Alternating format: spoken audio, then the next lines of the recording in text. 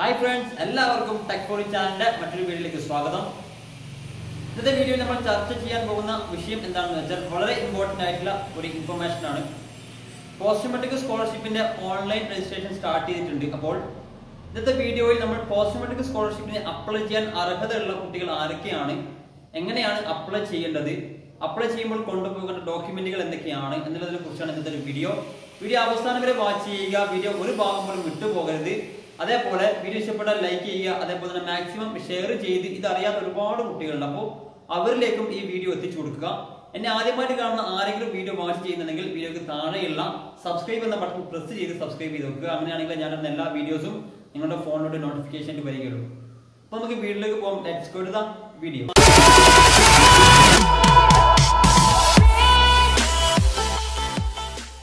okay friends അപ്പൊ എന്താണ് cosmetic scholarship post സ്കോളർഷിപ്പിന്റെ പ്രധാന ലക്ഷ്യം എന്താണെന്ന് വെച്ചാൽ നമ്മുടെ സമുദായത്തിലെ പിന്നോക്ക വർഗത്തിൽപ്പെട്ട കുട്ടികൾക്ക് സാമ്പത്തിക സഹായം നൽകുക എന്ന ലക്ഷ്യത്തോട് കൂടിയിട്ടാണ് നമ്മുടെ പോസ്റ്റ് മെട്രിക് സ്കോളർഷിപ്പ് മുമ്പോട്ട് വന്നത്.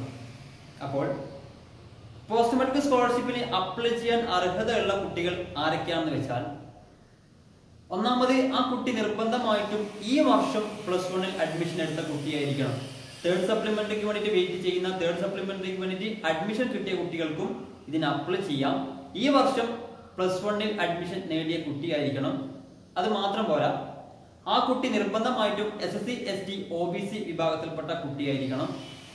അതേപോലെ നിർബന്ധമായിട്ടും ആ കുട്ടി അൻപത് ശതമാനത്തിൽ അധികം മാർക്ക് ആ കുട്ടി പത്താം ക്ലാസ്സിൽ വാങ്ങിയിരിക്കണം.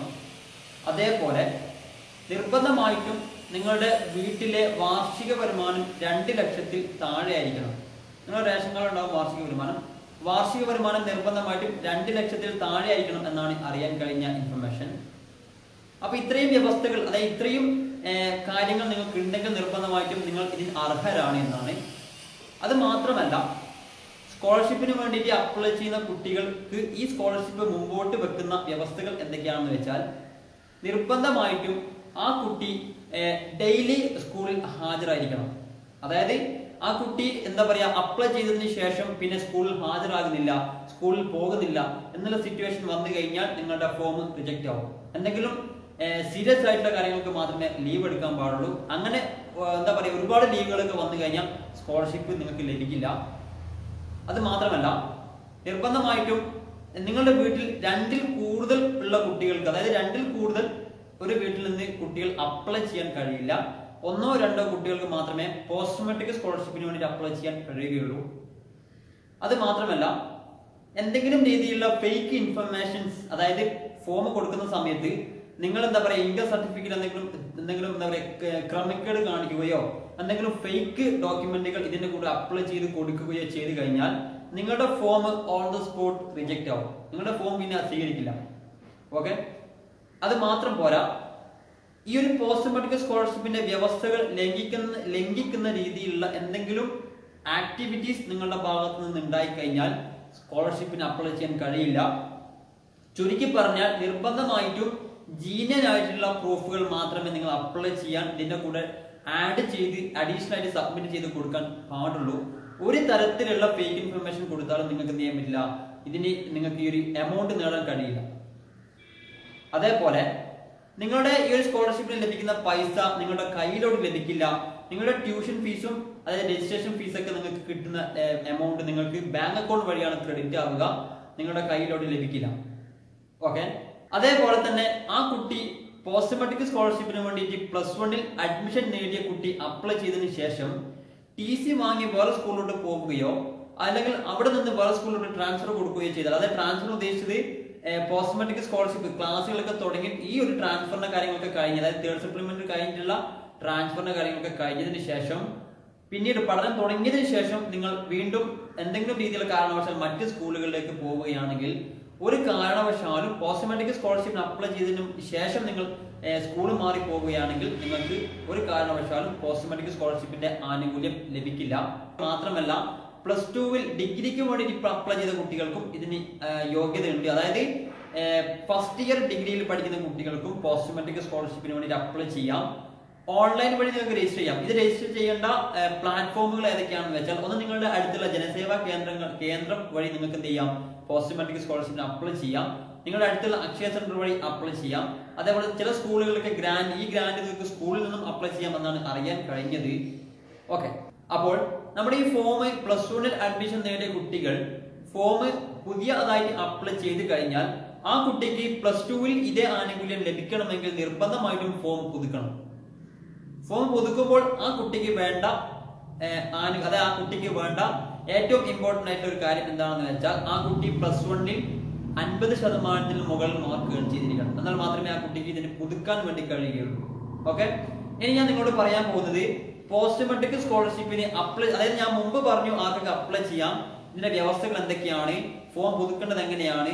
എവിടെ പോയിട്ടാണ് അപ്ലൈ ചെയ്യേണ്ടത് എന്നുള്ള കാര്യങ്ങളൊക്കെ ഞാൻ പറഞ്ഞു. ഇനി ഞാൻ പറയാൻ പോകുന്ന കാര്യം അതേപോലെ നിങ്ങൾ നിർബന്ധമായിട്ടും ഈ ഒരു മെട്രിക് സ്കോളർഷിപ്പിന് വേണ്ടിയിട്ട് അപ്ലൈ ചെയ്യുമ്പോൾ കൊണ്ടുപോകേണ്ട ഡോക്യുമെന്റുകൾ എന്തൊക്കെയാണെന്ന് വെച്ചാൽ ഒന്നാമത് നിങ്ങൾ കൊണ്ടുപോകേണ്ടത് നിങ്ങളുടെ പത്താം ക്ലാസ്സിലെ S S L C book കൊണ്ടുപോകണം. ഓക്കെ നിങ്ങളുടെ പത്താം ക്ലാസ്സിലെ എസ് എസ് എൽ സി ബുക്കിന്റെ ഒരു കോപ്പി നിങ്ങളുടെ കയ്യിൽ വെക്കുക. ഇനി നമ്മുടെ ഡിഗ്രിക്ക് ഫസ്റ്റ് ഇയർ പഠിക്കുന്ന കുട്ടിയാണ് അപ്ലൈ ചെയ്യുന്നതെങ്കിൽ ആ കുട്ടിയുടെ കയ്യിൽ നിർബന്ധമായിട്ടും പ്ലസ് ടുവിന്റെ സർട്ടിഫിക്കറ്റ് ആ കുട്ടിയുടെ കയ്യിൽ വേണം. ഓക്കെ നിങ്ങൾ പ്ലസ് വണ്ണിലുള്ള കുട്ടികളാണ് അപ്ലൈ ചെയ്യുന്നതെങ്കിൽ കുട്ടിയുടെ കയ്യിൽ എസ് എൽ സിന്റെ ബുക്ക് വേണം. എസ് എൽ സിന്റെ ബുക്ക് ഇല്ലെങ്കിൽ എസ് എൽ സി ബുക്കിന്റെ കോപ്പി കയ്യിൽ വെക്കുക.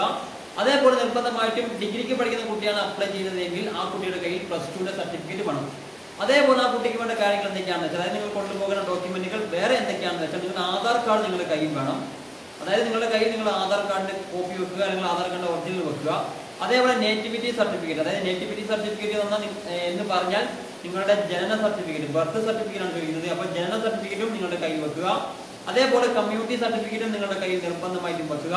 അതേപോലെ നിങ്ങളുടെ ഇൻകം സർട്ടിഫിക്കറ്റ് വെക്കുക. നിങ്ങളുടെ ഇൻകം സർട്ടിഫിക്കറ്റ് വെക്കുക. അതേപോലെ നിങ്ങളുടെ അലോട്ട്മെന്റ് മെമ്മോ വെക്കുക. ഈ അലോട്ട്മെന്റ് മെമ്മോ എന്ന് പറഞ്ഞു കഴിഞ്ഞാൽ നിങ്ങൾ നിങ്ങൾ ഇപ്പോൾ അഡ്മിഷൻ കിട്ടിയ സ്കൂളിൽ പോയി കഴിഞ്ഞാൽ നിങ്ങളുടെ സ്റ്റാഫ് റൂമിലോ പ്രിൻസിപ്പൽ അടുത്തോ പോയി കഴിഞ്ഞാൽ അവർ അലോട്ട്മെന്റ് മെമ്മോ നിങ്ങൾക്ക് ലഭിച്ചു തരും. അതായത് നിങ്ങൾക്ക് നിങ്ങളുടെ കയ്യിൽ അലോട്ട്മെന്റ് മെമ്മോ തരും. അതേപോലെ അഡ്മിഷൻ നമ്പർ നിർബന്ധമായിട്ടും നിങ്ങളുടെ അഡ്മിഷൻ നമ്പർ നിങ്ങൾക്ക് അറിയില്ലെങ്കിൽ നിങ്ങൾ എന്ത് ചെയ്യുക? നിങ്ങളുടെ സ്കൂളുകളിൽ ഇപ്പോൾ അഡ്മിഷൻ കിട്ടിയ സ്കൂളുകളിൽ പോയി കഴിഞ്ഞാൽ അവിടെ നിന്ന് നിങ്ങൾക്ക് അഡ്മിഷൻ നമ്പർ തരും. അതേപോലെ അഡ്മിഷൻ ഡേറ്റ് നിങ്ങൾ എപ്പോഴാണോ അഡ്മിഷൻ എടുത്തത് ആ ഡേറ്റ് നിങ്ങൾക്ക് ലഭിക്കും.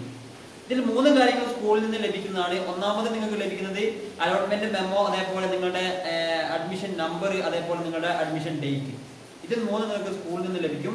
അതേപോലെ നിങ്ങൾ എന്ത് ചെയ്യുക ഇൻകം സർട്ടിഫിക്കറ്റും വെക്കുക കമ്മ്യൂണിറ്റി സർട്ടിഫിക്കറ്റും വെക്കുക നേറ്റിവിറ്റി സർട്ടിഫിക്കറ്റും വെക്കുക. അതിന്റെ കൂടെ ആധാർ കാർഡും അതിന്റെ കൂടെ നിങ്ങളുടെ പത്താം ക്ലാസ്സിലെ ബുക്കും ഇത്രയും കാര്യങ്ങൾ നിങ്ങളുടെ കയ്യിലുണ്ടെങ്കിൽ നിങ്ങൾക്ക് നിർബന്ധമായിട്ടും പോസ്റ്റ് മെട്രിക് സ്കോളർഷിപ്പിന് വേണ്ടിയിട്ട് നാളെ തന്നെ അപ്ലൈ ചെയ്യാം. ഒരു പ്രശ്നവുമില്ല.